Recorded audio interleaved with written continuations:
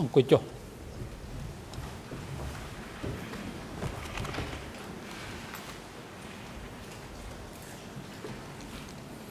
អង្គជំនុំជម្រះប្រកាសបន្តកិច្ចដំណើរការនីតិវិធីសកម្មភាពហើយជាបន្តនេះឲ្យខ្ញុំសូមផ្ដល់វិធីការជូនទៅក្រមមេធាវីការពីក្តីលោកនួនជាដើម្បីមានឱកាសតាំងទំនួលដេញដោលចំពោះសាក់សីរូបនេះហើយអង្គជំរះសូមរំលឹកជម្រាបជូនក្រមមេធាវីការពីក្តីលោកនួនជាក៏ដូចជាក្រមមេធាវីបាការពីក្តីពីក្រមទៀត ថាពេលវេលាសម្រាប់ការសួរដេញដោលសាក់សីរូបនេះសម្រាប់មេធាវីទាំង3ក្រុមគឺមានរយៈពេលតែ1រសៀលនេះតែប៉ុណ្ណោះសូមអញ្ជើញ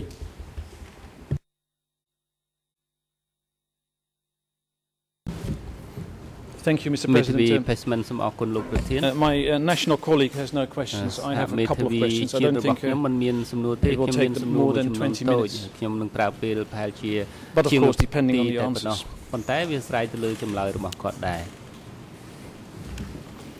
uh, Mr. Witness, លោកសាក់សី um, this morning, ព្រឹកមិញនេះ uh,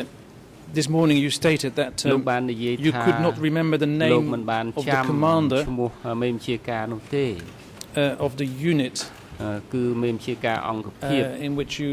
ដែល served លោក in ធ្វើការឲ្យ April នោះ 19. អឺដែលចាប់ពី75 is that correct? ខែមេសាឆ្នាំ1975មកតើអញ្ចឹងដែរឬទេបាទខ្ញុំសូមឆ្លើយ មុនរំដោះភ្នំពេញឆ្នាំ1975ខ្ញុំជានៅជាឯកនៃអង្គភាពកងទ័ពគឺមានខ្ញុំចាំតែមេធំធំឯងមេតូចតូចខ្ញុំមិនចាំឯងមេធំធំដូចជាស្នាក់ហៅចំនួននោះសម័យនោះគេហៅងងហៅងអញ្ចឹងប្រធានងអញ្ចឹងមានលោកណែឈ្មោះតាមិតហើយនឹងលោកណែ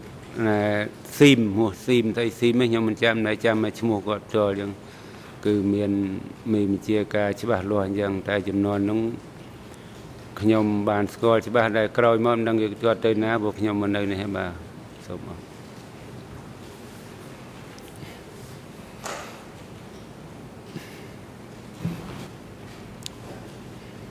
Do you know what the សំណួរតើលោក full ដឹងដែរ or ឬទេ real names តើ were ឈ្មោះ of Tamit ឈ្ and មោះ Tasim? តាមិតនិងតាស៊ីមនឹងឈ្មោះនាមត្រកូលពេញរបស់គាត់នឹង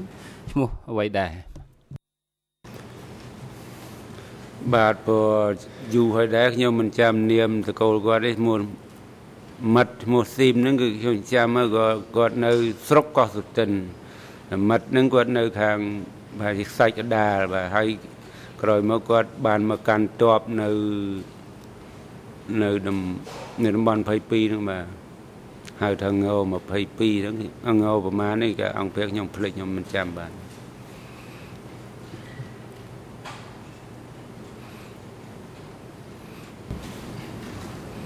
Can you recall the, the, the number សំ of ណួរ your តើ own លោក regiment? នៅចាំទេគឺថាអឺលេខរបស់កងវរៈសេនាធំដែលហៅថាងរបស់លោកនឹងលេខប៉ុណ្ណាលេខអ្វី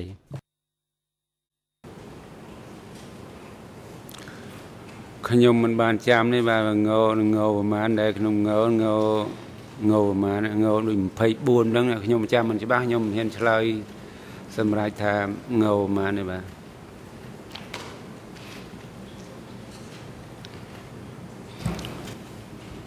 Thank you very much. Um, មេធាវីសូមអរគុណលោកច្រើន just for my understanding, did តាម that អ្វីដែលខ្ញុំ regiment យល់គឺថា maybe កង regiment 24 វរៈសេនាធំនោះគឺ uh, ង was a, a 24 part of a larger ជា unit, ផ្នែ a កនៃ division, for example? And do you អឺជា remember ផ្នែកនៃ if កង that's the ធំ case, the មួយទៀត name or ឬ the ក៏ number of that division? អឺលោកអាចបញ្ជាក់ច្បាស់បានទេគឺថាអឺផ្នែកនៃកងធំមួយទៀតនោះលេខប្រមាណហើយឈ្មោះអ្វី បាទខ្ញុំបញ្ជាក់បានខ្ញុំនឹងចាំសពេចសពិលគឺងោ52និងងោ24ខ្ញុំចាំតែប៉ុណ្ណឹងបាទ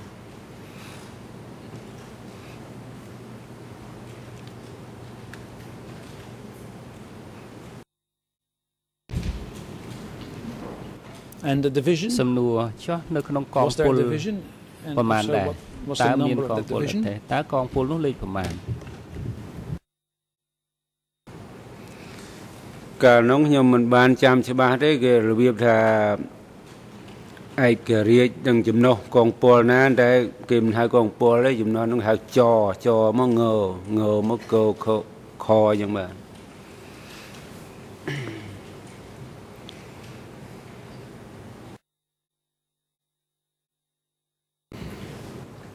Uh, thank you. មេ Uh, ធាវីសូមអរគុណ I'm not sure I ខ្ញុំ understand, មិន understood correctly, ប្រកាស but ថាខ្ញុំយល់ត្រឹមត្រូវ did ដែរ you ឬ say ទេ that តើ uh, លោកនិ you យាយ don't ថា know what happened លោក to មិន the ដឹង former commanders of the regiment, តើ Tamil លោកមិន and ដឹងថា Tasim? Is that តើមាន correct? រឿងកើតអ្វីមានអ្វីកើតឡើងចំពោះអតីតមេបញ្ជាការឈ្មោះតាមិតនិងតាស៊ីមតើនេះជាចម្លើយលោកបែបនេះទេ តាម ដាប់លោមកគេដកហូតគាត់ទៅខាងអើមិនដកហូតទេគាត់ឲ្យស៊ីមនឹងឲ្យទៅក្តាប់គ្រប់គ្រងខាងកំពង់សោមគាត់នៅលឺជាប្រយោលទេខ្ញុំមិនបានច្បាស់ថាគាត់គ្រប់គ្រងការងារអីគាត់ទៅខាងកំពង់សោមដល់ក្រោយឈ្មោះម៉ាត់នឹងនឹងទៅខាងណាពួកខ្ញុំដល់រំដោះហើយខ្ញុំមិននៅភ្នំពេញហើយគាត់នៅនឹងទៅណាខ្ញុំមិនបានចាំមិនបានដឹង And do you know whether they are still សំណួ alive? រតើលោកដឹងទេពួកគាត់នៅរស់ដែរឬទេដល់សប្តាហ៍ថ្ងៃនេះបាទខ្ញុំមិនបានទទួលដំណឹងពីគាត់រឿងរស់ហឹងស្លាប់អីបាទព្រោះមិនដឹងទេបើថាបានជួបខ្ញុំឆ្លើយថាបានដឹងថារស់បាទខ្ញុំមិនដែលបានជួបគាត់បាទ Uh, Thank you very much. Those were my មេធាវី questions សូមអ for រគុណ today. លោក ច្រើនលោកសាក់សីខ្ញុំមានសំណួរតែប៉ុណ្្នឹងសម្រាប់សួរលោកសូមអរគុណអឺតុលាការបាទអរគុណជាបន្តខ្ញុំសូមផ្ដល់វេទិកាជូនទៅក្រុមមេធាវីការពីក្តីលោកលោកអៀងសេរីដើម្បីមានឱកាសតាំងធមុតដេញដោលចំពោះសាក់សីរូបនេះ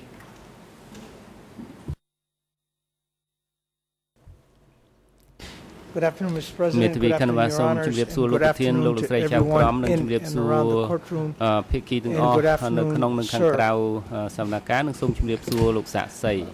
Earlier today, you talked អឺ to us. ថ្ងៃ You នេះ told កាល us ពីព្រឹក that មិញ uh, នេះលោកបាននិយាយថា the investigators came to see អ្នក you ស៊ើប three អ or ង្កេ four តបាន times ជួ and ប that you លោក gave 3 one ឬ4ដង interview. ប៉ុន្តែលោកបានផ្ដល់បទសម្ភាស Did I ន៍ម្ hear ដ you ង correctly? តើខ្ញុំស្ដាប់អញ្ចឹងច្បាស់តាមចម្លើយរបស់លោកដែរឬទេ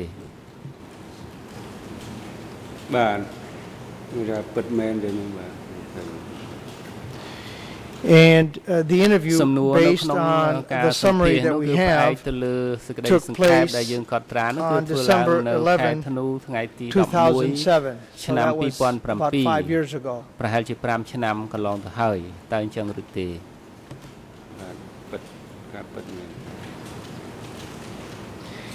Now, as I understand it, សំណួរឥឡូវនេះ uh, តាមដែលខ្ញុំ during យល់ the interviewing នៅក្នុង process, ដំណើរការ the នៃការ interpreter សម្ភាស that ន៍នោះ was អ្នក there បកប្រែដែលនៅកន្លែងនោះ uh, happened to be someone that you were គឺ acquainted with, a ជាមនុស្សដែល cadre លោក from ស្គាល់ your គឺ days ជា back in កម្ uh, មាភិបាលតាំង the ពី Khmer សម័យ Rouge ដែល period. លោកនៅក្នុង Is that សម័យ correct? កម្ពុជាជាធិបតេយ្យតើអញ្ចឹងដែរឬទេ គាត់ជាបញ្ញាជនឈ្មោះហេងខំខេងបាទអ្នកស្រាវជ្រាវបាទ but you knew him back then. សំណួរប៉ុន្តែលោកស្គាល់គាត់តាំងពីសម័យកម្ពុជាជាធិបតេយ្យហ្នឹងឯងខ្ញុំស្គាល់គាត់ទឹកនៅត្រឹមចំនួនឆ្នាំ83ដែរបាទ82 83ប៉ុណ្ណោះបាទ Uh, thank you. មេធាវី Now, សូមអរ as គុណ I ឥ under- ឡូវ from នេះ listening to តាម the ដែលខ្ញុំ tape ស្ដាប់ recording, ទៅនឹងការថតខ្សែអាចសំឡេងនៃការសម្ភាសន៍ something នោះ that is not reflected in the មាន summary, ចំណុចខ្លះដែលមិន uh, បាន we កត់ can ត្រានៅ hear ក្នុង along with you អឺនៅលើ being ក្រដាសប៉ុន្តែឥឡូវនេះគឺថា interviewed, the voice នៅ of ពេល your wife. ដែលលោកបានសម្ភាសន៍នោះគឺថាដូច Do ស្ you ដាប់ recall- លើសំឡេងប្រពន្ធរបស់លោកផងតើលោកនៅ or ចាំ do I have it ទេ right, that your That, wife um, was next to you គិតត្រូវ during ដែរឬ the ទេថា interviewing នៅពេលដែល process? សម្ពោះស ម្ភាសន៍នោះគឺថាអឺគ្រួសារឬប្រពន្ធរបស់លោកនឹងនៅក្បែរលោកដែរតើអញ្ចឹងដែរឬទេបាទរឿងហ្នឹងពិតមែនទេព្រោះទៅនៅក្នុងផ្ទះខ្ញុំបាទបាទ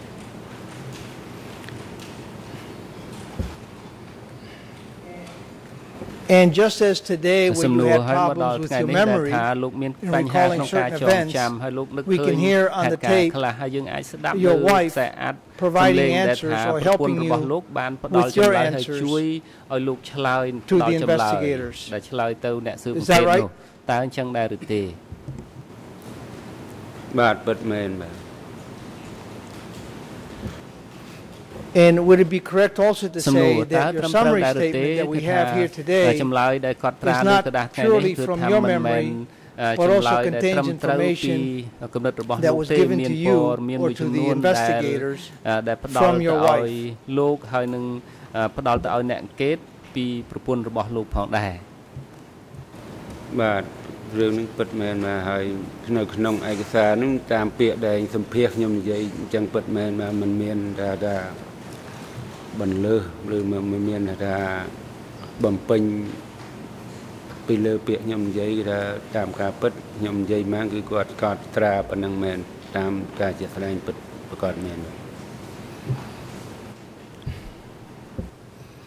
Uh, Right, but some of those សំណួរ statements ប៉ុន្តែ are based ប៉ុន្តែ on ចម្លើយទាំងអ information ស់នោះ that គឺ your ផ្អែ wife ក was លើ giving ព័ត៌មាន you during the ដែលប្រពន្ធ interview របស់លោក in បានប្រាប់ refreshing your មកលោ memory. កហើយនៅពេលដែលសម្ភាសនឹងដើម្បីឲ្យលោកចងចាំបានន័យថាចម្លើយនឹងគឺមិនមែនរបស់លោកសុតសាទេប្រពន្ធលោកជួយតើអញ្ចឹងដែរទេ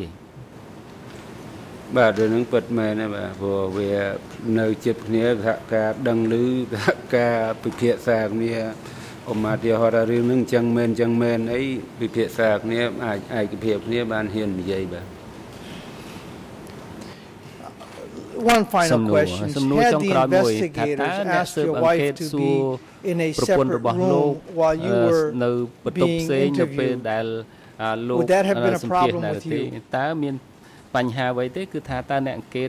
បានប្រាប់ថាឲ្យអឺលោកសម្ភាសដាច់ឆ្ងាយពីប្រពន្ធរបស់លោកទេនៅពេលនោះនៅពេលនោះគឺទៅសភាគឺ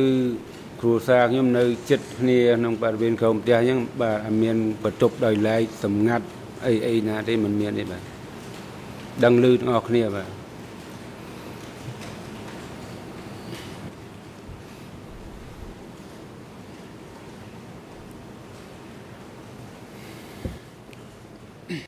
Precisely. សំណួរ But នេះ had និយាយ the ឲ្យប្រក interview, បថាតើ had the ការ interview, សម្ភាស had នោះ the investigators ថាតើអ្នក wanted to ស៊ើប interview អង្កេត you separately from your អឺ wife, បាន that ធ្វើ would have សម្ been ភាសរបស់ possible លោក at the ដាច់ time. អឺចេញពីប្រពន្ធរបស់លោកនឹងគឺថាมันអាចអឺសម្ភាសដោយថាគ្មានវត្តវត្តមានរបស់ប្រពន្ធលោកបានទេកាលនោះនោះសាកតែមកតនឆ្លើយតបសំជើញលោកត្រីមេធាវី Thank you, Mr. President. I would មេ like ធា to វី object to this អឺ question បេនយា since it's សូមអរគុណលោកប្រធាន hypothetical. គឺថាអឺខ្ញុំសូមជំទាស់ Uh, Mr. សំណួរនេះដោយសារ President, ជាសំណួរឧ It's បមាវិ hardly ធី hypothetical. មេធាវី The កណ្ដា person ល was គឺ there. ថានេះជា We're not ប្រ in កាសណាស់ដែល Mars. ថាមិនមែន He's ថា over នៅ there ក្នុង in his ពិភពមួយ village. ផ្សេងទេគឺថាគាត់នៅ Now, ភូមិ unless that គា is ត់ the only place on ជា earth ក that ន្លែង the, តែ the មួយ wife can ដែល stand at ថា the ប្រ time, ពន្ធគាត់ដែល certainly នៅ the gentleman ចិត្ត is perfectly គាត់នៅ able ក្នុង to ផ្ទះ answer របស់ the គាត់ដែល question ដើម្បី that she ឲ្យ could go គាត់ off to សួ some រសំ other ណួរ house ប៉ុន្តែ ថាតើ down the road ថាតើ in another room. មិនអាចនៅបន្ទប់ផ្សេងនៅបន្ទប់ That's the នៅ thrust of តា the មផ្លូវ question. នេះហើយជាសំណួរ So ដែល it's ខ្ញុំ not សួរនឹងដដាល hypothetical. ខ្ញុំមិន It's based on អឺ the ឲ្យគាត់ឧបមា circumstances ទេ of the location in គឺថា which ដើម្បី the ឲ្យ interview ដឹង took អំពី place. ទីតាំង And the point I'm សម្ភាស trying to drive here នោះ is ដើម្បី that the ឲ្យដឹង interview ថា was ថាតើ conducted with កា two រ people សម្ភាសនោះបានសួរ speaking at the same time, អឺមនុស្ស one ពីរនាក់និ refreshing យាយ the ក្នុង other ពេល one's តែមួយ memory, ឬក៏ which សួរ is តែ now ម្នាក់ the ដែលថាមាន basis ម្ of នាក់ a ជាអ្នកជួយ summary. រំលឹក None of ដូ which ច្នេះ of ហើយ all of this នៅ is ក្នុងកំណត់ reflected ហេ in តុ the នេះគឺ summary. ថា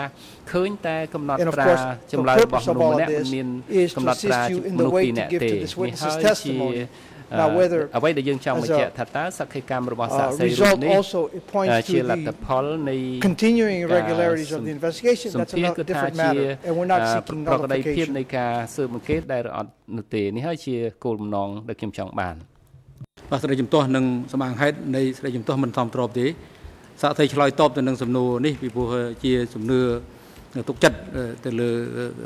សក្ខីកម្មដែលបានលោកបានផ្ដល់នៅក្នុងអំឡុងពេលអឺស្ដាប់ធ្វើពីសម្ភាសជាមួយនឹងអ្នកស៊ើបអង្កេតនៃការិយាល័យសហចាំធ្វើធ្វើអង្កេតបាទកាលនោះដែលឲ្យលោកបានសួរសួរហ្នឹងគឺខ្ញុំឆ្លើយឲ្យច្បាស់មួយមួយតែម្ដងកុំឲ្យមានការសង្ស័យសួរតទៀតច្រើនសារបាន នៅពេលនោះអស់លោកដែលខាងសាវជ្រាវដែលខ្ញុំបានលើកខាងដើមគឺឈ្មោះហេងខំខេងហ្នឹងមាននារីជាស្រីម្នាក់បាក់ពីរនាក់បាននៅពេលនោះគាត់សួរចុះឡើងចុះឡើងខ្ញុំក៏បាននិយាយប្រាប់គាត់ហេតុផលជានេះជានោះអញ្ចឹងហើយប្រពន្ធខ្ញុំក៏នៅក្រោមផ្ទះដែរព្រោះបញ្ហាហ្នឹងខ្ញុំមិនមានលក្ខការជាមួយក្រុមគ្រួសារទេបាទហើយគ្រួសារជាប្រហៅថាប្រពន្ធ ក៏គាត់ឲ្យជាមតិដឹងឮរឿងអីខ្លះព្រោះនៅជាមួយគ្នាដឹងចេះចេះមែនចេះចេះមែនខ្ញុំដឹងរឿងនឹងពិតអញ្ចឹងមែនអញ្ចឹងអញ្ចឹងអញ្ចឹងអានឹងខ្ញុំឆ្លើយជាភាសាសាមញ្ញទេព្រោះខ្ញុំបានថាណែឲ្យចម្លើយទៅខាងអ្នកសាវជ្រាវទៅតាមសើមកេតហ្នឹងមិនមែនជាសម្ងាត់ខ្ញុំអីចំហជាមួយក្រុមគ្រួសារខ្ញុំទាំងមូលបាទសូមអរគុណ Uh, Thank you, sir. And just មេធាវី one សូមអ final រគុណលោក question. សាក់សីនេះសំណួ Uh, រចុងក្រោ Before យមួយទៀត this this មុន particular ពេល interview, were you ការ ever សម្ asked ភាសន៍មនុស្ស questions ថាតើ before មានអ្នកណាសួរ by សំណួរលោក these, ពីមុនទេអឺ uh, ដោយ investigators or អ្នក any ស៊ើបអង្ other កេតទាំងអស់នោះឬ investigators? ក៏មានអ្នកស៊ើបអង្កេតណាផ្សេងសួរអ្វី Or was this លោក the ទេមុ only ន time សម្ where ភា you សន៍ actually ឬ were ក៏ asked នេះជា questions ពេលតែម្ដងដែល and provided គេសួរ answers? សំណួរទៅលោកឲ្យលោកផ្ដល់អឺចម្លើយនិយាយពីរឿងសម្ភាសន៍នោះបាទ បាទនេះជាលើកជាមួយចំពោះលោកខាងសាវជ្រាវហេងខំខេងបាទតែមួយគាត់បាទតែម្នាក់តែម្ដងបាទ Well, l- based on that, let me ask one មេធាវី follow-up. ផ្អែក Was លើ that បញ្ហានេះ the ខ្ញុំ only សូមសួរ time then តើនេះជាពេល that you តែ were ម្ដង interviewed គត់ by ដែល the គេសម្ office ភាសន៍ of the ដោយ co-investigative judges? ការិយាល័យសហជីវក្រមស៊ើបអង្កេតនឹងបាទតែម្ដងគាត់បាទឈ្មោះហេងខំខេងបាទ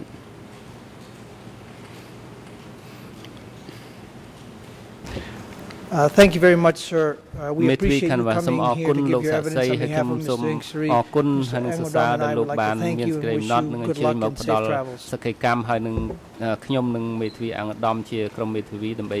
អឺការពារលោកអ៊ីងស្រីសូមអរគុណឲ្យលោកអឺត្រឡប់ទៅនៅឋានវិញដោយសុវត្ថិភាពបាទអរគុណប្រជាបន្តឲ្យមានសូមផ្ដល់វេទិកាជូនទៅក្រុមមេធាវីការពីក្តីលោក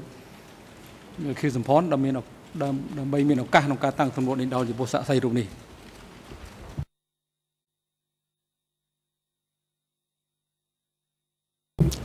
បាទសូមអរគុណលោកប្រធានសូមក្រុមក្រុមឧស្សាហជំជំរះសូមជម្រាបសួរលោកជាសាយអឺខ្ញុំមានសំណួរមួយចំនួនតាក់ទងទៅនឹងសក្ខីកម្មរបស់លោកដែលមានវត្តមាននៅទីនេះអឺខ្ញុំជាបឋមសូមសួរលោកពាក់ព័ន្ធទៅនឹងទូនាទីរបស់លោក នៅពេលដែលលោកធ្វើការនៅអឺ ក12នោះលោកបានមានប្រសាសន៍ថាលោកធ្វើជាអឺជាងជួសជុលរថយន្តហើយរថយន្តធុនធំរថយន្តធំបាទអញ្ចឹងតើក្នុងអឺក្រុមរបស់លោក ដែលលោកបានមានប្រសាសន៍ថាមានគ្នាអឺជាង30នាក់នោះ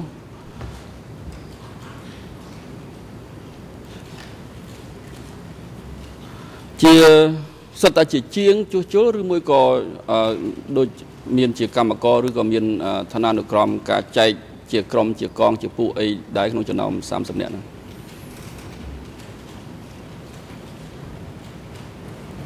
បាទខ្ញុំសូមឆ្លើយ នៅក្នុងអង្គភាពក12ដោយឡែកផ្នែកខ្ញុំក្រុមឡានធំអញ្ចឹងមាន ជាងជួសជុលនិងអ្នកបើកបរបាទចំនួនមនុស្សប៉ុណ្ណឹងបាទ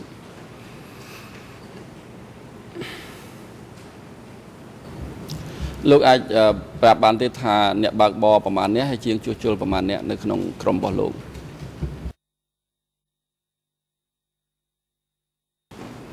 ដោយខ្ញុំឆ្លើយខាងដើមហ្នឹងលោកបាទខ្ញុំមិនបានចាំទេព្រោះរយៈពេលសឹងតែពាក់កណ្ដាលជាងពាក់កណ្ដាលមនុស្សហើយបាទជិត40ឆ្នាំហើយខ្ញុំមិនអាចជាថាចំនួនម្នេះអើមិនជាងមិនតិចជាងពី10នាក់ឡើងលើហៅថាមួយក្រុមនោះបាទបញ្ជាក់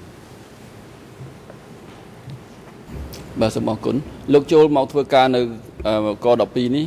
ពីឆ្នាំណាដែរបើអាចចាំទាំងការបរិច្ឆេទបានក៏ល្អបាទសូមអញ្ជើញ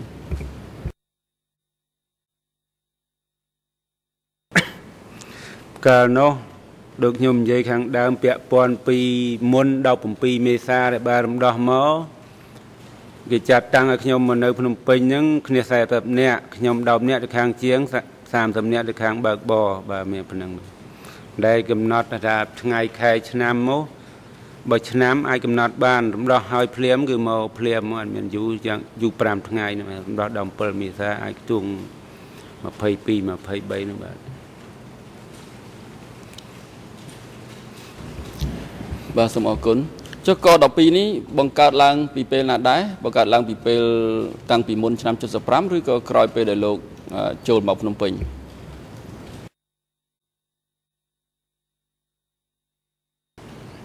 តាមពិតទៅអង្គ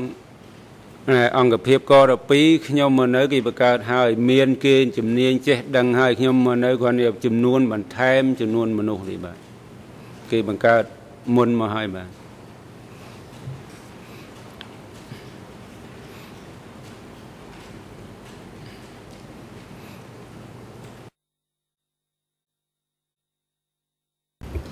បាទក្នុងអង្គសាវនាការកន្លងមកលោកជំរាប ក្រុមប្រឹក្សាជំនុំជម្រះថាអឺលោកលោកមៀលជាមេរបស់លោកអញ្ចឹងត្រឹមត្រូវទេបាទត្រឹមត្រូវហើយព្រោះអង្គភាពក12មានលោកមៀលហ្នឹងបាទត្រឹមត្រូវបាទបាទសូមអរគុណជួយលោកស្គាល់ថានរណាជាមេរបស់លោកមៀលដែរទេ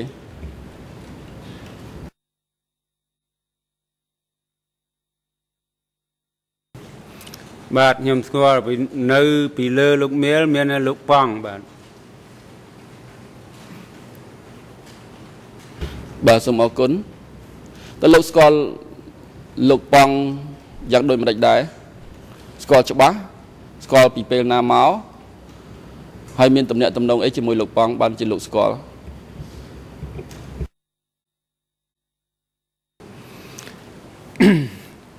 បានជាខ្ញុំស្គាល់លោកប៉ង់ថានៅ គ្រប់គ្រងពីលើមន្ទីរក12ហ្នឹងព្រោះគាត់ចេញចូលទៅតំណាក់តំណងជាមួយ ប្រធាន អង្គភាពក12ឈ្មោះលោកមៀលនេះឯងបាទ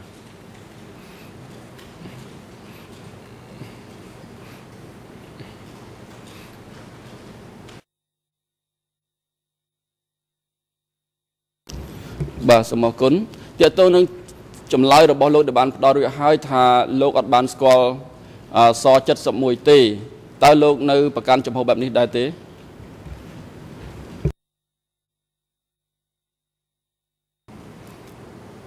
ខ្ញុំមិនមិនស្គាល់ទេចំនួនហ្នឹងបាទស11មិនដែលលឺផងមិនដែលលឺណានិយាយថាស11មកមិនអឺដែលលឺសុំទៅគឺស71មិនមែនស11ទេបាទ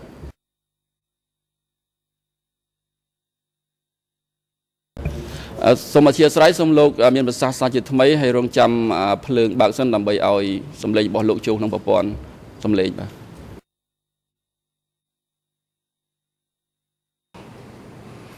បាទខ្ញុំសូមនិយាយម្ដងទៀតគឺស71ខ្ញុំមិនដែលបានលឺបានដឹងទេលឺមិនដែលលឺទេបាទខ្ញុំនិយាយជាការពិតហ្មងព្រោះខ្ញុំមិនអ្នកខាងទំនាក់ទំនងអីខាងអង្គភាពផ្សេងផ្សេងបាទ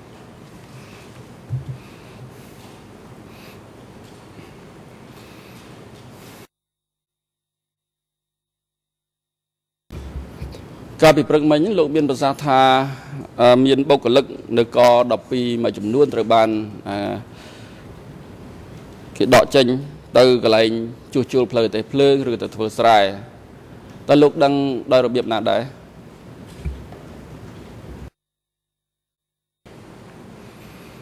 បាទខ្ញុំដឹងដល់ដោយរបៀបថាមនុស្សចេញអស់ដឹងតែគេដកទៅកន្លែងហ្នឹងកន្លែងហ្នឹងបាទ មានតែកន្លែងជ័យឧត្តមនេះខាងលិចពូជតុងនេះឯងផ្លូវទេសភ្លើងមកខ្ញុំបានដឹងប៉ុណ្ណឹងឬគេថាគ្រប់គ្នាអញ្ចឹងខ្ញុំក៏ជានិយាយនិយាយចាំតាមហ្នឹងដែរបាទបាទសូមអរគុណចឹងខ្ញុំសូមបញ្ជាក់ឡើងវិញថាលោកដឹងតាមរយៈតតគ្នា មិនមែនអឺជាការប្រកាសផ្លូវការអីទេបាទ ខ្ញុំដឹងតាមរយៈតតគ្នាមិត្តភ័ក្តិហ្នឹងมันមានការប្រកាសអីទេរឿងបញ្ហាហ្នឹងបាទ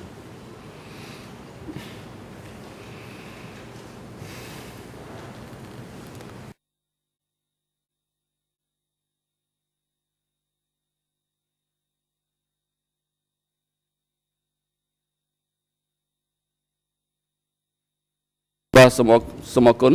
អឺតកតងទៅនឹង ការអប់រំនយោបាយដែលលោកបានមានប្រសាសន៍ជម្រាបជូនអង្គជំនុំជម្រះពីព្រឹកមិញនេះថាលោកបានចូលរួមជាច្រើនដង ហើយមានទាំងនៅបរិយាកាឡា និងនៅសាលាបច្ចេកទេសបាទលោកអាចបញ្ជាក់បានទេថានៅក្នុងក្រុមការងាររបស់លោក ដែលលោកបានមានប្រសាសន៍ថាមានគ្នា30នាក់ហ្នឹងតើអ្នកណាខ្លះដែលបានទៅរៀនជាមួយលោក ចូលរួមវគ្គសិក្សាជាមួយលោកនៅពេលនោះបាទខ្ញុំនិយាយបានត្រឹមតែចង់បញ្ជាក់ថាអ្នកណាខ្លះឈ្មោះអីឈ្មោះអីខ្ញុំដូចជាភ្លេចអស់ហើយព្រោះរយៈកាលពេលនោះជាយូរដែរហើយខ្ញុំមិនបានចាំនេះបាទដែលធ្លាប់ទៅរៀនផ្លាស់ប្ដូរវេននេះធ្លាប់ទៅមែនក៏ប៉ុន្តែឲ្យតែចាំឈ្មោះកមកខមកងអីខ្ញុំមិនចាំនេះបាទ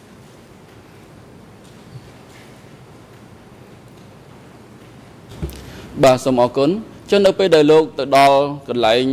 រៀនសូត្រនោះអ្នកណាខ្លះដែលក្រៅពីក្រុមរបស់លោកចូលរួមរៀនជាមួយលោកនោះលោកស្គាល់គេទេ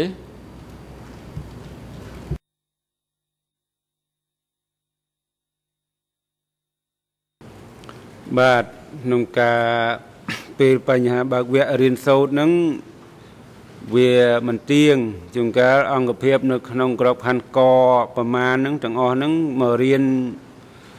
អង្គភាពមួយមាន10នាក់5នាក់តាមជាក់ស្ដែងអញ្ចឹងជួនកាលស្គាល់ជួនកាលអត់ស្គាល់អញ្ចឹងទៅបើវាជាក់ស្ដែងអាស្រ័យលើតាក់ទងគ្នាអ្នកក្រមក្រមបាទ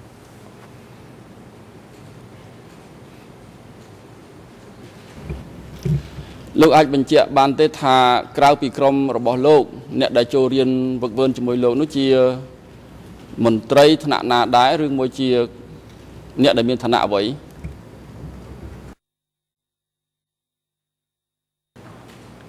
បាទរឿងការរៀនសូត្របើកវគ្គរៀនសូត្រជានយោបាយហ្នឹងវាមិនទៀងមិនកំណត់ថាកម្មាភិបាលជួនកាលពេលវាយុទ្ធជនអញ្ចឹងយុទ្ធជនសុទ្ធអញ្ចឹងទៅក៏មានជួនកាលកម្មាភិបាលចម្រុះលាយមួយយុទ្ធជនក៏មានយកកម្មាភិបាលសុទ្ធក៏មានបាទបញ្ហារៀនសូត្រគឺមានអញ្ចឹងបាទវាមិនទៀងហើយតែមិនកំណត់បាទ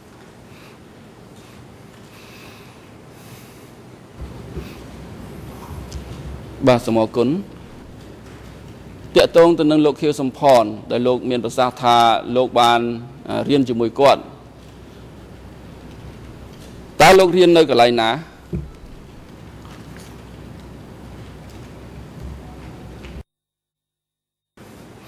បាទចំពោះខ្ញុំបានរៀននៅនិយាយមួយម៉ាត់មកគឺនិយាយតែខ្លីមកថា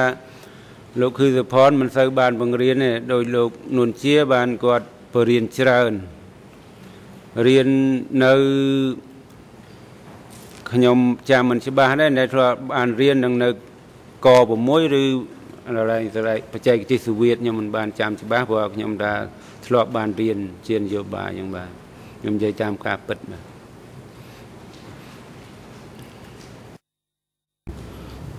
បាទសូមអរគុណ លោកចង់បញ្ជាក់អ្វីបន្ថែមទេដែលលោកប្រើពាក្យថាលោកខៀវសំផនមិនសូវបានបង្រៀនទេនោះលោកចង់សម្ដៅយ៉ាងម៉េច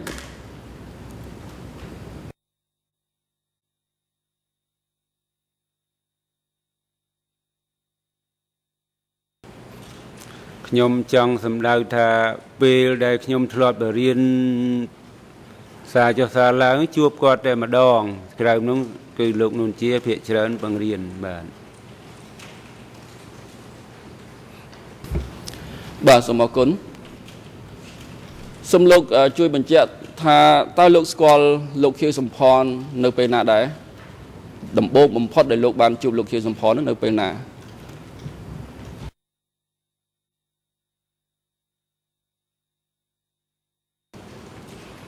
បាទខ្ញុំបានស្គាល់គាត់ ដូចខ្ញុំនិយាយព្រឹកមិញខាងដើមអញ្ចឹងពេលគាត់ថាចុះទៅលេងកូនចៅគាត់អញ្ចឹងខ្ញុំបានឃើញពីចងាយឯងមិនមែនថាស្គាល់និយាយផ្ទាល់ទេគាត់ថាប្រាប់ថានេះអ៊ំឈ្មោះគាត់អ៊ំហែមហ្នឹងអ៊ំហែមអ៊ំហែមអញ្ចឹងដែលឈ្មោះគាត់ខាងក្រៅគឺសំផនមិត្តភក្តិគាត់ប្រាប់នេះអ៊ំហែមគឺសំផនខ្ញុំក៏បានស្គាល់គាត់អញ្ចឹងអញ្ចឹងទេបាទស្គាល់គាត់តាំងពីនៅ រោងមន្ទីរក12ហ្នឹងបាទ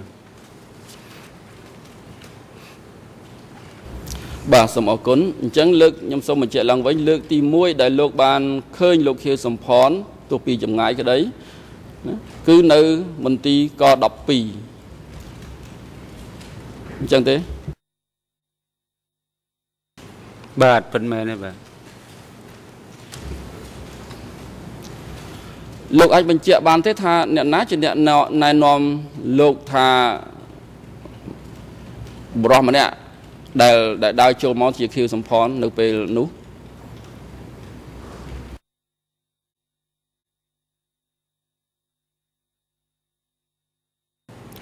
បាទអ្នកដែលប្រាប់ខ្ញុំហ្នឹងគឺគេនៅអង្គភាពនឹងចាស់មុនគេស្គាល់គាត់យូរហើយបាទខ្ញុំទើបទៅនៅថ្មី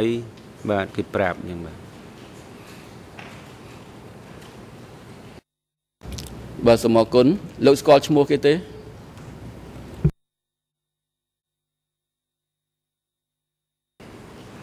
បាទផ្លេចឲ្យយូរឆ្នាំហើយបាទ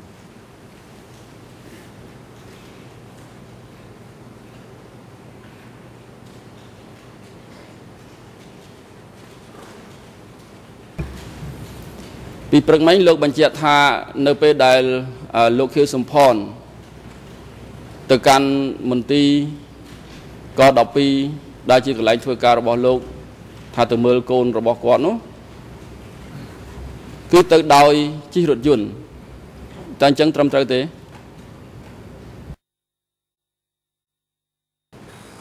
បាទត្រឹមត្រូវគាត់ជិះរថយន្តបាទ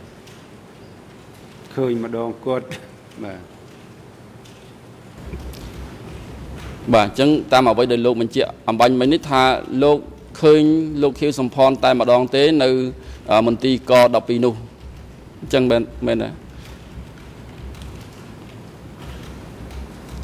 បាទខ្ញុំឃើញតែម្ដងបាទគាត់ចាប់ពេលនោះមកបាទសូមអរគុណលោកអាចបញ្ជាក់បានទេថារថយន្តដែលលោកជិះទៅនោះលោកជាអ្នកបើកផ្ទាល់ខ្លួនឬមួយក៏មាន គេបើកឲ្យគាត់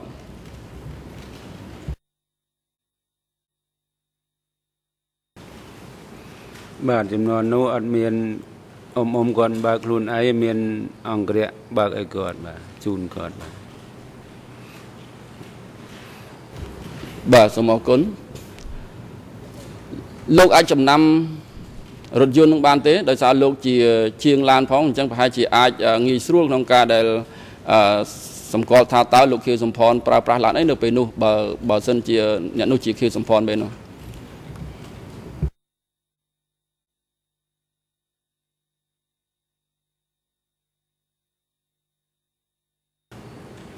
បាទខ្ញុំឆ្លើយថាពេលនោះខ្ញុំក៏មិនបានចាំច្បាស់ជាក់លាក់ព្រោះយូរឆ្នាំហើយក៏ប៉ុន្តែបើគាត់មិនសូវជារើសឡានប្រហែលទេមើលទៅមើលទៅអីគាត់មិនសូវជាទស្សនៈរើសអើងអីទេបាទឡានណាគាត់ជិះដែរបាទបាទខ្ញុំសូមបញ្ជាក់ឡើងវិញអញ្ចឹងបានន័យថាលោកមិនបានស្គាល់ថាលោកខៀវសំផនប្រើប្រាស់ ឡានអ្វីទេនៅពេលនោះអញ្ចឹងបាទណា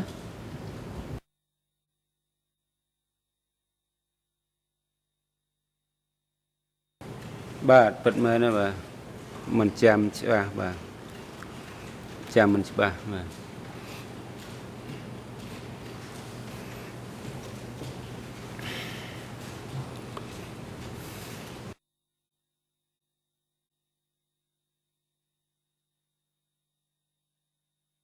បាទសូមអរគុណ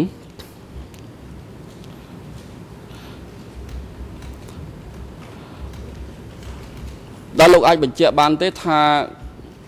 កូនរបស់គាត់ដែលនៅក្នុងមន្ទីរក12ដែលលោកមានប្រសាសន៍មុននឹងមិញហ្នឹងជាកូនប្រុសឬក៏ស្រីហើយគាត់នៅទីនោះធ្វើអ្វីដែរ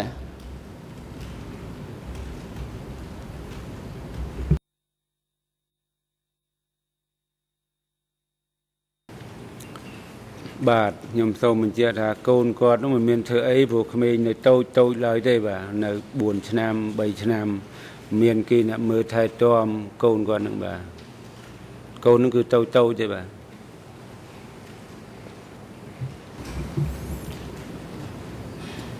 ខ្ញុំចង់សួរបញ្អឺបញ្ជាក់លោកថាតើកូនដែលអឺលោកមានប្រសាសន៍មុននឹងមិញហ្នឹងជាកូនប្រុសឬកូនស្រីហើយអឺ គាត់នៅទីនោះដូចជាទៅរៀនសូត្រឬមួយក៏គ្រាន់តែជាការដាក់ឲ្យនៅជាមួយមេដោះឬមួយយ៉ាងម៉េចខ្ញុំអឺសូមឲ្យលោកជួយបញ្ជាក់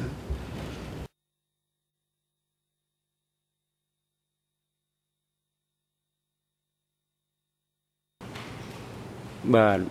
នៅពេលនោះខ្ញុំគឺប្រយោលនៅក្នុងមន្ទីរអញ្ចឹងក៏មានជ្រក់ផ្សេងគ្នាអញ្ចឹងខ្ញុំមិនដែលចិត្តទេគ្រាន់តែ ដឹងតាមនេះ rằng កូនអ៊ំនៅទីនេះមានមេដោះចិញ្ចឹមអញ្ចឹងឬស្រីមកប្រុសខ្ញាខ្ញុំក៏មិនបានទៅនេះដែរគាត់ដឹងថាកូនគាត់ទៅនៅកន្លែងនោះដែរតែក៏ប៉ុន្តែគាត់អង្គភាពនឹងមែនគាត់តែច្រកចូលផ្ទះខុសគ្នាខ្ញុំមិនដែលបានទៅចិត្តទៅអីទេបាទបាទសូមអរគុណ តើលោកដឹងថាកន្លែងនោះជាកន្លែងសម្រាប់មើលក្មេងៗដតីទៀតឬមួយក៏មានតែកូនលោកខៀវសំផនមួយទេដែលនៅទីនោះតាមអ្វីដែលលោកដឹងនោះ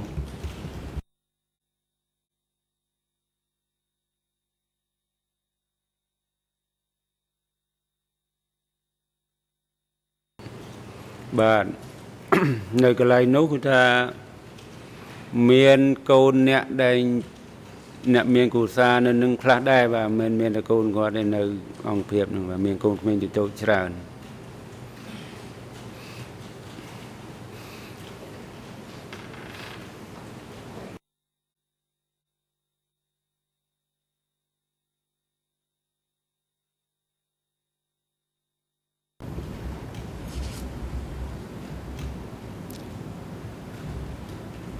បាទសូមអរគុណអតកតងទៅនឹង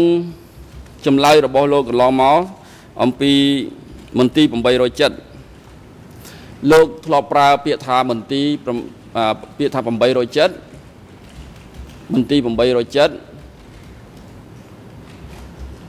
អង្គភាព807និងក្រសួង807តើលោកស្គាល់ច្បាស់ទេថាអ្វី807ដែលលោកអឺនិយាយសម្ដៅដល់នេះ លោកអាចជួយបញ្ជាក់ជូនក្រុមប្រឹក្សាជុំជម្រះ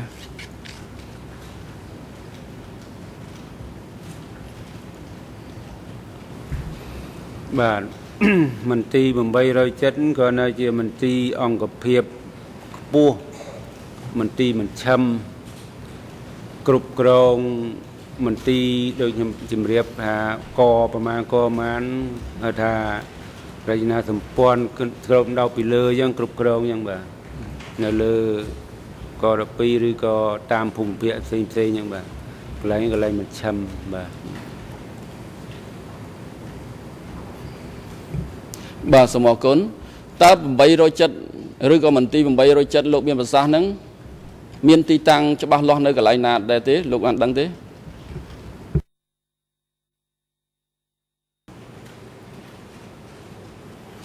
បាទខ្ញុំមិនដែលបានទៅផងឮតែឈ្មោះអង្គភាពដែលលើគ្រប់គ្រងពីលើកក12ហ្នឹងបាទខ្ញុំមិនដែលទៅឬបោះទីតាំងនៅ ចំណុចតាណាមួយខ្ញុំក៏មិនបានដឹងក៏មិនដែលបានទៅដែរបាទគាត់ថាឮជាឈ្មោះលេខអង្គភាពអញ្ចឹងបាទ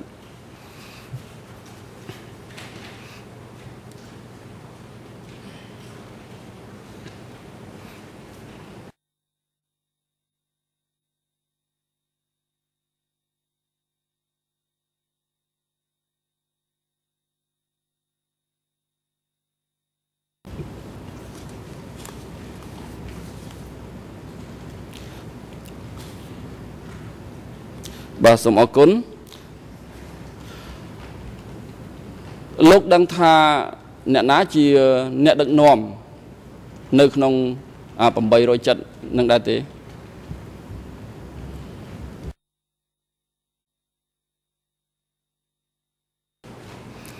បាទកាលនោះខ្ញុំក៏មិនបានច្បាស់លាស់ដែរដែលមាននៅកំពូលមានអអ៊ំអ៊ំ ខាងលើហ្នឹងហើយបាទដឹកនាំមាននរណាទៀតខ្ញុំយល់ថាអញ្ចឹងបាទនឹងបន្ទាប់មកលោកប៉ង់ហ្នឹងហើយបាទបន្ទាប់បន្ទាប់មកបាទបាទសូមអរគុណខ្ញុំចង់សួរបញ្ជាក់ថាលោកមានប្រសាសន៍ថាតាមខ្ញុំយល់អំបញ្ញបាញ់នេះគឺជាការគិតផ្ទាល់ខ្លួនឬក៏មានអឺបានព័ត៌មានពីខាងក្រៅពីណាផ្សេងមកប្រាប់លោកថាអឺអ្នកណាជាអ្នកដឹកនាំនៅទីនោះ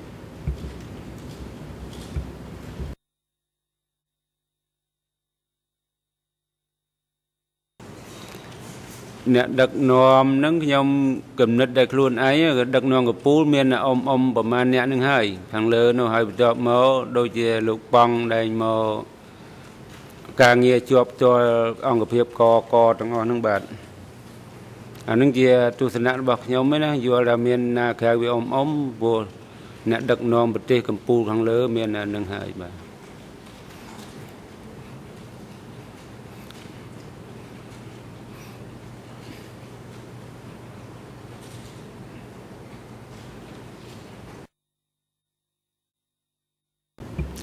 បាទសូមអរគុណ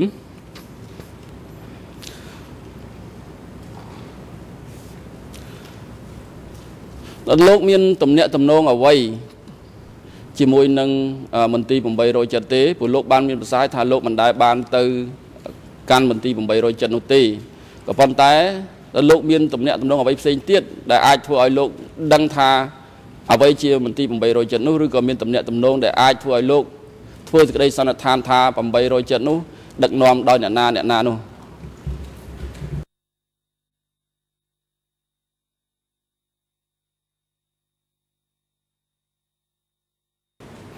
បាទដែលខ្ញុំបានដឹងថាមន្ទីរ807ជាកម្ពុជាជាមន្ទីរគ្រប់គ្រងលើក12ដឹកតាដឹងតាមមេប្រធានមន្ទីរដែលគ្រប់គ្រងផ្ទាល់ខ្ញុំនឹងបាទគាត់និយាយថាមន្ទីរ807វាយកទៅបាទ ខ្ញុំអាចចាំនឹងដឹងធឹមប៉ុណ្ណឹងទេបាទ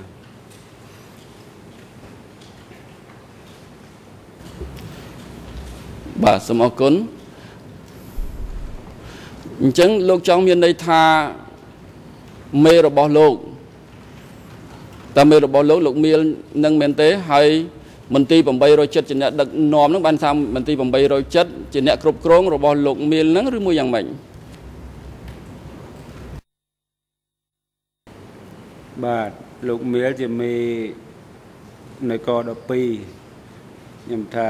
807គ្រប់គ្រងទៅលើក12ហ្នឹងបាទបាទ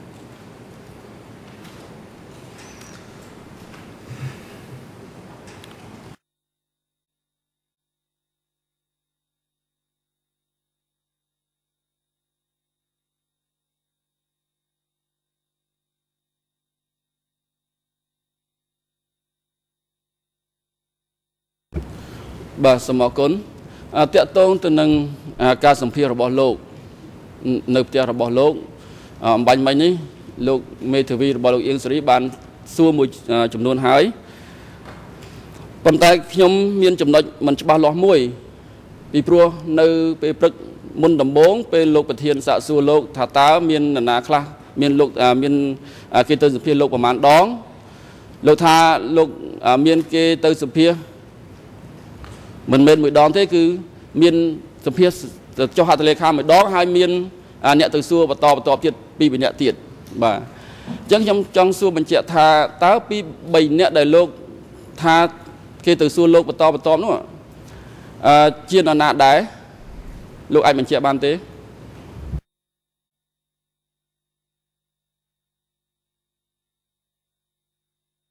បាទបិទមែន ពេលដំបូងទី1គឺលោកហេងខំខេងទៅសម្ភារដល់យកព័ត៌មានពីខ្ញុំបានហើយអស់លោកធ្វើការនៅសាលាក្តីហ្នឹងដែលខ្ញុំបាទបាទនៅហ្នឹងទៅជំនាក់ដំណងខ្ញុំទៅមកដើម្បីខ្ញុំឡើងធ្វើការបាទបាទពីរដងទៀតបាទពីរដងថ្ងៃទៅយកបាទ សូមលោកបញ្ជាក់ឲ្យបានច្បាស់បន្តិចថាពីរដងទាំងថ្ងៃទៅយកនោះមានន័យថាថ្ងៃទៅយកលោកអញ្ជើញមកតឡាការនេះឬមួយក៏មុននឹង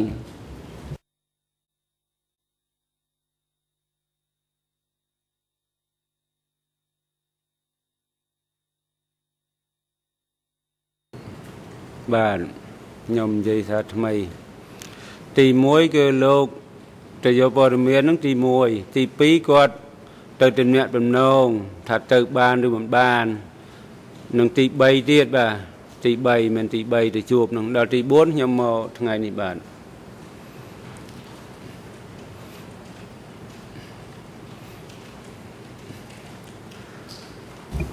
បាទសូមអរគុណលោកប្រធានខ្ញុំអស់សំណួរសូមលោកសាក់សីខ្ញុំអស់សំណួរសូមអរគុណ បា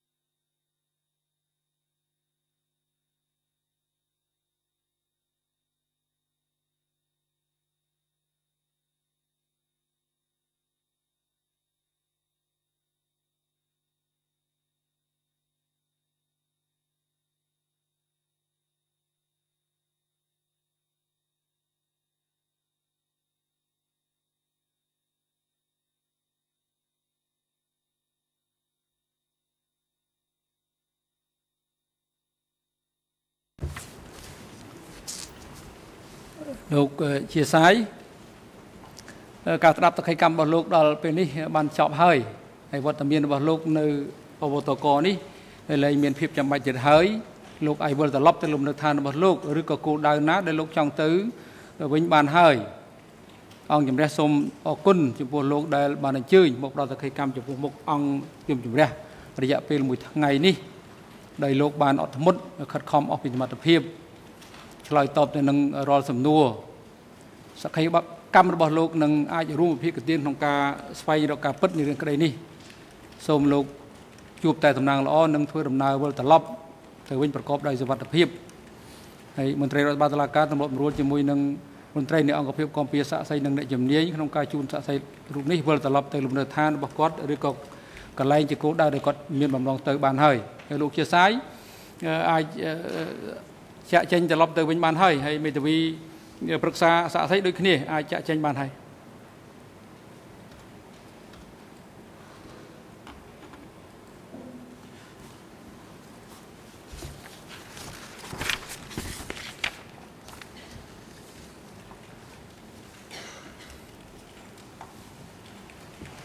បើសមនាការសម្រាប់ថ្ងៃនេះដល់ពេលត្រូវសម្រាប់ហើយ ដែលហេតុផលថាអង្គជំរះបានដំណើរការសមនាការស្ដាប់សក្ខីកម្មស័ក្តិសិទ្ធិជាសាយប្រព្រឹត្តទៅបានឆាប់រហ័សជាងពេលវេលាដែលបានគ្រោងទុកដែលអង្គជំរះបានគ្រោងទុកពេញមួយថ្ងៃឥឡូវនេះយើងបានឆាប់រហ័សជាងការគ្រោងទុកហើយអង្គជំរះក៏សូមជម្រាបជូន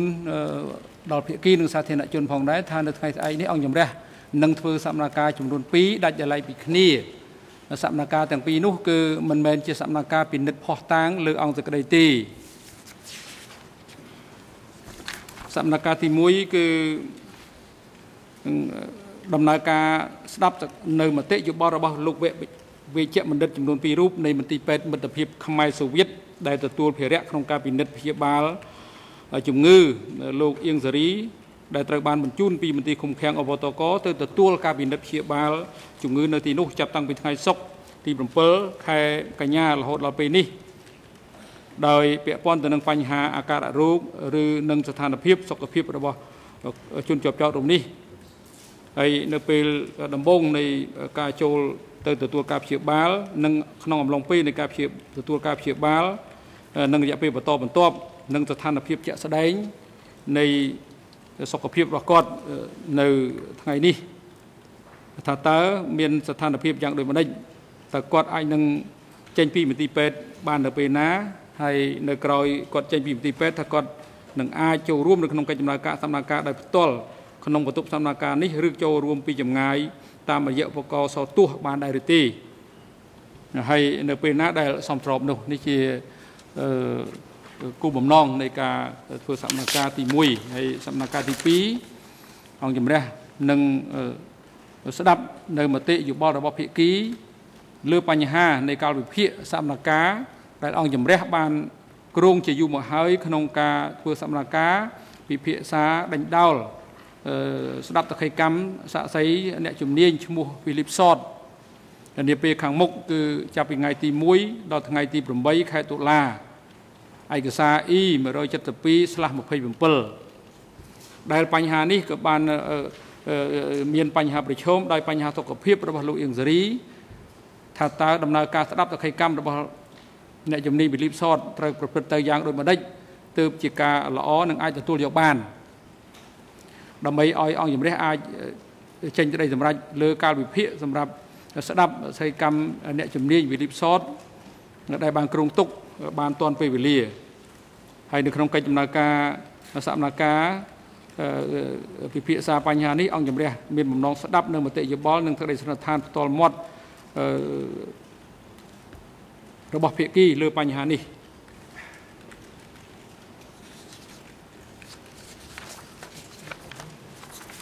ហើយដោយសារអឺបញ្ហាសមនកម្មថ្ងៃស្អែកហ្នឹងគឺมันអឺ ពាក់ព័ន្ធទៅនឹងការពិនិត្យផោះតាងទេអង្គជំរះចង់សួរទៅមេធាវីការពីក្តីចំនួន2ក្រុមគឺការពីក្តីលោកនួនជានិងលោកខៀវសំផនព្រោះអង្គជំរះគិតថាបញ្ហានេះគឺអឺទំនងជាមិនសូវចាំបាច់ប្រហែលទេ ក្នុងការចូលរួមរបស់ជនជាប់ចោតហើយប្រសិនបើកូនក្រីរបស់លោកមានបំណងចូលឬក៏មិនចូលអង្គជំរះសូមអឺ លោកជំរាបប្រាប់មកយើងដើម្បីអង្គជំរះមានមូលដ្ឋានពិចារណាសម្រាប់ឲ្យបានជាក់ច្បាស់លើបញ្ហានេះសូមអញ្ជើញលោក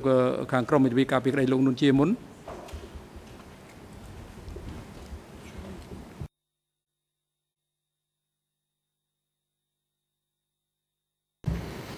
Thank you very much, Mr. President. I haven't discussed this with uh, my client yet, but um, uh, I will uh, definitely be here. Uh, I understand it doesn't really concern our client directly, but the right to be present at trial and to be trialed in, uh, in your presence is uh, something that, of course, concerns our client as well. So um, we will not, maybe not be here in the morning when they uh, when you will be hearing the experts or the medical experts. But uh, we would like to attend the, the follow-up hearing about um, uh, the hearing of the expert witness. Maybe you can give an indication of when it will start so that we can...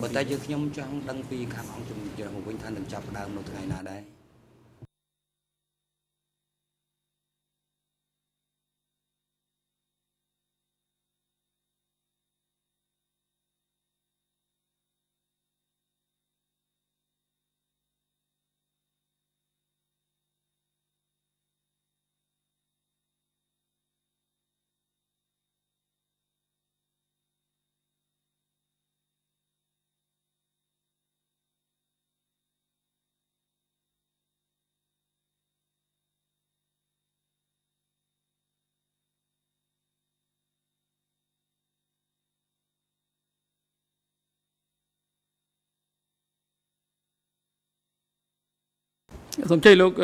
Michael Passman លោកមានបញ្ហាអីដែលចុងក្រោយមិញនេះយើងភ្លេចហើយហើយតែលោកមានមតិយោបល់ថាម៉េចចង់បានយ៉ាងម៉េចទៅបញ្ហានេះអង្គជំនះបានជម្រាបជូនភាគីរួចហើយតាមអ៊ីមែលរបស់មន្ត្រីច្បាប់ជាន់ខ្ពស់នៃអង្គជំនុំលេះឡាដំបងអំបញ្ញមិញនេះយើងគ្រាន់តែបញ្ជាក់បន្ថែមប៉ុណ្ណោះតាមទម្លាប់នៃដំណើរការសកម្មភាពយើងចាប់ផ្ដើមពីម៉ោង9ព្រឹក អង្គជំរះក្រណបញ្ជាក់លើបញ្ហាពាក់ព័ន្ធជាមួយនឹងកូនក្តីរបស់លោកទេប្រសិនបើគាត់មានបំណងចូលរួមនៅក្នុងសកម្មភាពនៅថ្ងៃស្អែកនេះគឺអង្គជំរះនឹងបង្គាប់ឲ្យខាងមន្ទីរឃុំឃាំងនាំគាត់មកចូលរួមនៅក្នុងកិច្ចដំណើរការសកម្មភាពហើយប្រសិនបើគាត់មានបំណងក្នុងការលះបង់សិទ្ធិនោះគឺសូមឲ្យលោកដាក់នៅឯកសារលះបង់សិទ្ធិក្នុងការចូលរួមសកម្មភាពដោយសពដងមកជានេះអង្គជំរះងាយស្រួលក្នុងការសម្រេចថា មិនចាំបាច់ឲ្យខាងអនុរិយមន្ត្រីឃុំឃាំងនាំខ្លួនគាត់មកបង្ហាញខ្លួននៅក្នុងសកម្មភាពនៅថ្ងៃស្អែកទេដោយសារការពិភាក្សាថ្ងៃស្អែកនេះសំខាន់បដោតទៅលើនីតិវិធីនៃការកំណត់ការវិភាគសកម្មភាពស្ដាប់តក្កកម្មសាក់សីអ្នកជំនាញដែលមិននឹងរដ្ឋមន្ត្រីទៅពេលមុខមុខទៀត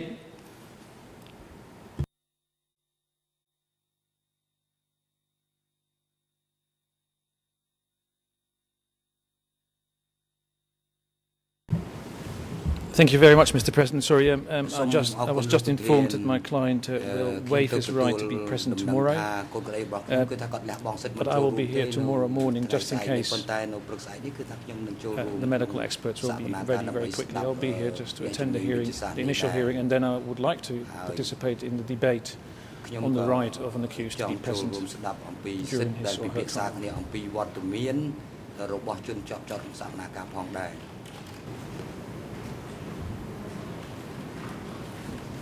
បស់ជនជាប់ចោតក្នុងសកម្មភាពផងដែរបាទអរគុណសូមជ័យលោកមេធាវីការពីក្តីលោកខៀវសំផនបាទសូមអរគុណលោកប្រធានសូមគោរពក្រុមរក្សាជំនុំជម្រះសាជាថ្មីលោកខៀវសំផនពុំមានបំណងចូលរួមក្នុងសកម្មភាពថ្ងៃស្អែកទេក៏ប៉ុន្តែមេធាវីយើងខ្ញុំហើយនឹងក្រុមការងារយើងខ្ញុំនេះនឹងចូលរួមក្នុងនីតិវិធីនេះដើម្បីស្ដាប់នៅនីតិវិធីជាគោលការណ៍បាទសូមអរគុណ